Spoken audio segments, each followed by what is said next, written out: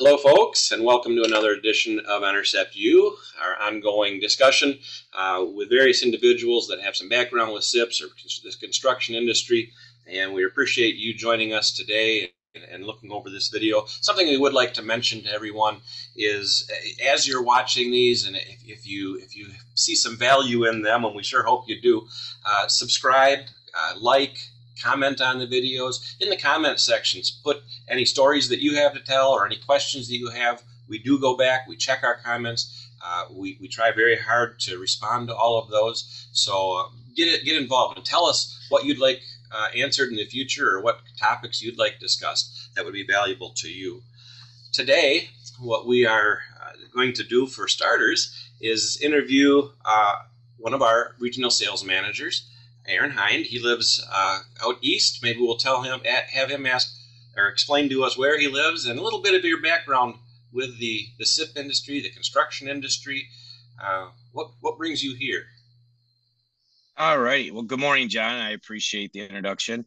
Um, as Jon mentioned, my name is Aaron Hinde. I live in Southeast Michigan and been in the SIP industry for 28 plus years um, installing and also selling the product and just have been around it for a long, long time. Um, a big background in installing it, um, as well as selling the product. So it's been it's been great, and it's a product that I love working with on a daily basis.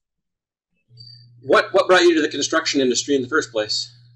Um, actually, been in construction ever since uh, I was in high school. Just you know, doing odd jobs or if I wasn't working on grandpa's farm, I was out doing something. So always just like to um, put things together and then see how the process goes. And it's it's great to take a piece of bare land and see a beautiful home go up in six months to a year later.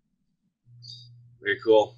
So it's interesting to me, those of us who kind of grew up in construction and then morphed into sales, uh, we're picky about what we sell we can't sell something that we don't believe in. So, what made you comfortable to make that transition and actually start recommending this and, and helping other people through the process of structural insulated panels? Well, that's a great point, Jon. It's uh, you always align yourself with products you believe in. So, you know, when you're you, when I came across SIPs, you know, and got into working with SIPs, it's like it's just a phenomenal project product. It's it's something that it's it's more straight, it's more true.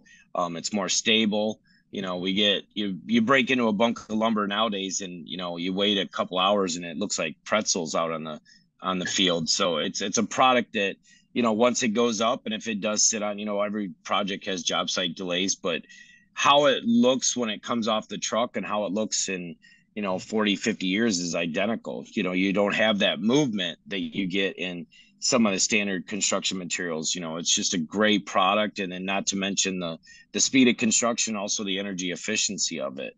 Um, it's also a product that you don't have to have a full 30 yard roll off sitting on the job site when you're building as well. So you know you take all those things into account you know it goes up faster. It's it's more true. It's a straighter more reliable product. And then also the availability to save on job site waste it's it's just you can't there's so many benefits and features to it.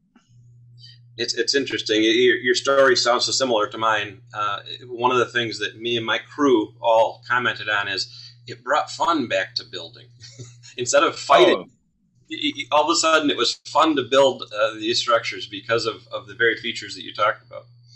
Yeah, absolutely. I mean, it's it's just something you know, like you know, with SIPs, you know, you get your your product out there and you know you go to install your windows and it's just like the ro the rough opening is exactly if it calls out for a three by five window it, it goes in perfect. You don't have to adjust that lumber and the header's not sagging. It's just a true window ro to make your the process so much easier to install all the products that come after sips you know your drywall you've got a nice simple smooth straight surface so it's your drywalling goes up a lot quicker. Your siding, it's a nice, straight, true product after it's all installed.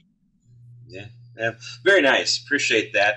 Uh, that that brings some of that enthusiasm and excitement about structural insulated panels uh, to the to the fore today, which we appreciate. I think our customers and and individuals who are investigating this and trying to figure out the differences will appreciate that very much. So we thank you. We look forward to getting to know you better as our discussions go on. Great. Sounds good.